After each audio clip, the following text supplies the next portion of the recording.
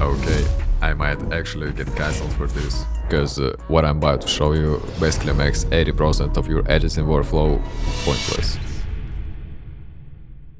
You know how After Effects loves wasting your time. I got tired of that too. So I built something by accident and now I'm honestly scared to show it. Cause this thing solves pretty much every 9 editing problem you ever had. Well, almost every problem. Today I wanted to give you an honest breakdown of a plugin nobody even knows exists. Talk about its pros, its cons. Okay, you know what?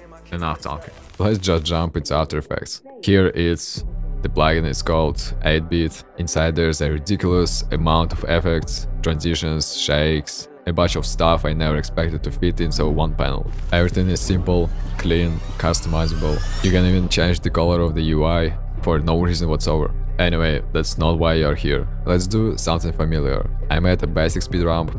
No need to explain that, every editor knows how it works. Now I add an adjustment layer. I need a transition between these two clips. I like this one right here. Yeah, I click it and boom, instantly apply it to the selected layer.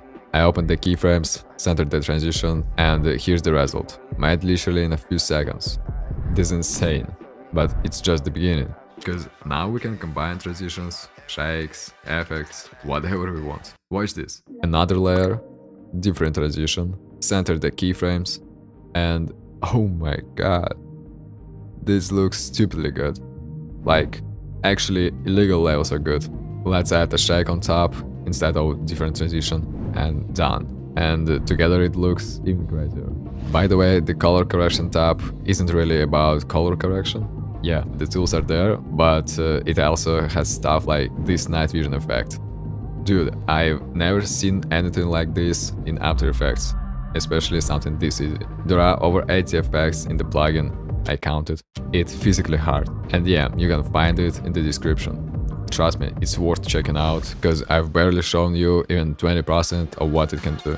I've mentioned a lot of pros, so let's talk about the cons. Honestly, I found only one. If you don't know how effects work, some settings might confuse you at first, but uh, you can just tweak random sliders or adjust pre-animated keyframes and still get something cool. And then I realized that's not even a con, because the plugin actually teaches you how effects work. You experiment, you discover combinations, you start understanding After Effects deeper, so basically the only minus turned into a plus.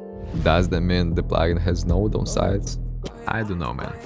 I edited my last video entirely with this plugin. Here's an example. Look, this transition right here, let me delete everything and recreate it with the plugin. I don't remember exactly which one it was. Uh, I think this one. Yeah, apply it, check the result and it almost identical.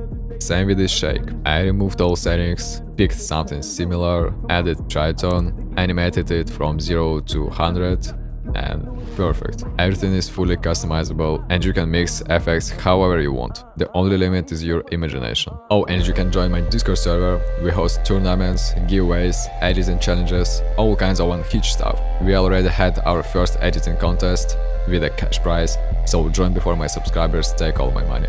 Anyway, I made this plugin myself, started working on it back in August, had zero coding experience, and somehow it works. You know where to find it, and uh, I'll now go look for the button that says delete channel.